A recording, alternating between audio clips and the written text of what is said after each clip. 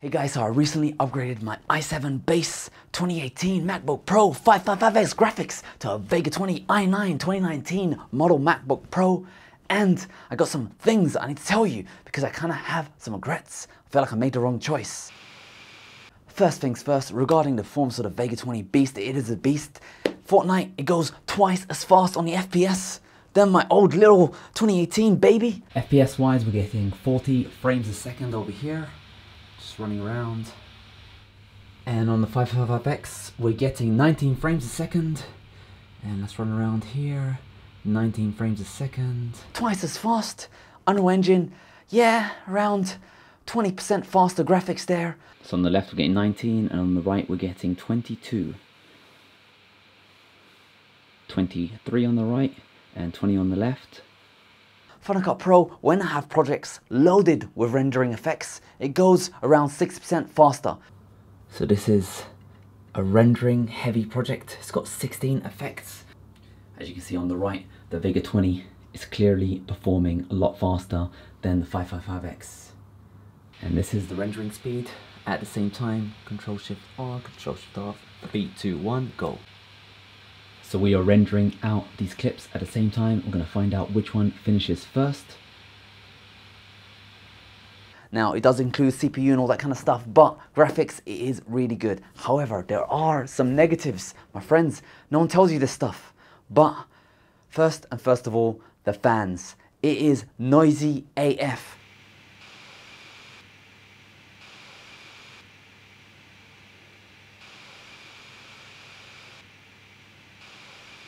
And it's not just the fan speed.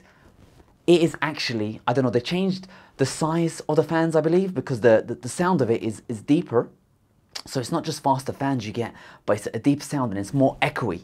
And for me, according to my wife's ear, it is around 40, 40, 40% louder than the fans in the non-Vega models. I tested out 2019 earlier, non-Vega, and it was about the same as the 2018, whereas the Vega ones is about 40% louder.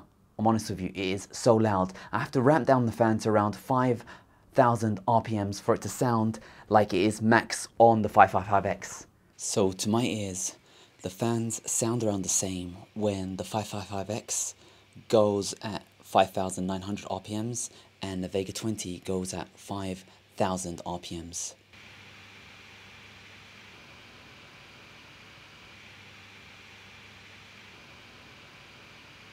Alright, that was the noise levels of the actual fans when you're just using the CPU. And uh, I haven't showed you energy usage yet, but I'm going to get into that in a bit. But for now, I want to show you the actual graphics difference.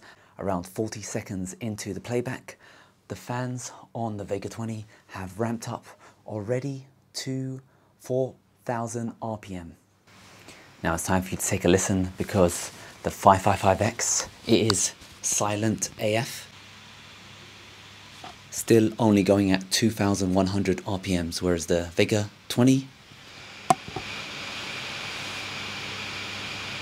it has hit 6000 RPMs after around two and a half minutes of playback. It does run faster, but it comes at a cost of noise levels. So the fans are noisy AF. Secondly, power draw. When you use the computer with nothing plugged in, you have just about enough power to keep it afloat. The power adapter gives you just enough juice to keep it going. As soon as you plug in an external monitor and do something heavy, intensive on the CPU, it starts draining battery power. And if you look at the power usage of the 555X, we can see it's using around at most 32 watts, whereas the Vega 20, well, it's going all the way up to 50 watts of power usage. And what that means for the battery is it's actually losing 16 milliamps of power while you're using the Vega 20.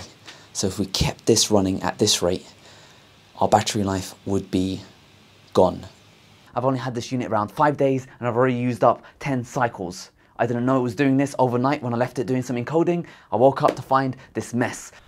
So initially I left my laptop encoding videos overnight and as you can see look at that drainage all the way down to 5% then it shoots up goes down again shoots up and it goes down again and shoots up This time round, I set the fan speeds maximum to 5,500 RPMs and it drained at a slower rate, but it was still draining. So it went from 100% all the way down to 82% in a couple of hours. At this very moment, I've set the maximum fan speed to 4,900 RPMs and you can see it says not charging, but uh, if I look at it, it's it's actually okay. It's not charging. It charges a little bit and then it discharges a little bit. So I need to just reduce my fan speed. So now that I've set my fan speed to 4,000 RPMs, you can see that my CPU has clocked all the way down to 2.1, 2.2 gigahertz, around about here, all the way down from 3 gigahertz earlier today. And my battery is finally charging with 500 milliamps, and it's going to take 8 hours to get that 15% and that's just with an SSD, external monitor, and 10 gigabit Ethernet adapter plugged in, which I had no problems with before on my last generation MacBook Pro. So if you're the kind of person that has, that has an Ethernet adapter plugged in, an SSD adapter plugged in, USB devices plugged in, don't use your computer as fast as it can go. Just that's what you have to do with the Vega 20 edition. I don't know if it's a 2019 thing I'm gonna have to find out because I think I made a big mistake getting this Vega 20 version because it's just way too noisy. But yeah, just be aware of that. There is a solution out there for you and I had to do some sort of hacking to get it around working.